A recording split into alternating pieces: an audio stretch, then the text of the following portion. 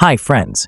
Do you have a problem that a white light scrolls left to right continuously more than 20 minutes? You're facing an issue with an incomplete firmware updating. In this video, I will explain how to solve this issue on your soundbars 300, 600, and 550. Important. First, watch full video without skipping and then try this method. If you need more information regarding this, please visit Bose official page. Here I am doing a manual installation of firmware using a computer and USB cable.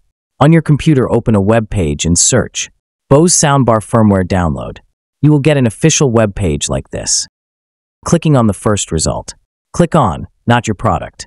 Click on Home Cinema. Scroll down and select your soundbar. Click on Updating using a computer and USB cable. Then download the firmware zip file by clicking this link. Important. Once you downloaded the file, do not open, do not rename, and do not unzip. Let's go. Your soundbar still the white light scrolling. Connect a computer using USB cable with your soundbar.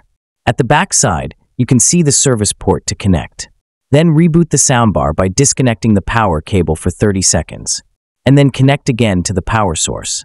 After reboot, may also your soundbar showing same white light. Don't worry, let it to be like that. Service mode. Simultaneously press and hold mute and music buttons for 5 seconds. The light may turn off or will be the same. Now we can go to the next step. Open a browser from your computer and open the following address. You will get this link on description. If the link is not open, try the service mode again by pressing the remote keys or reboot again. Once the link opens the page, will ask you to locate firmware zip file and then update.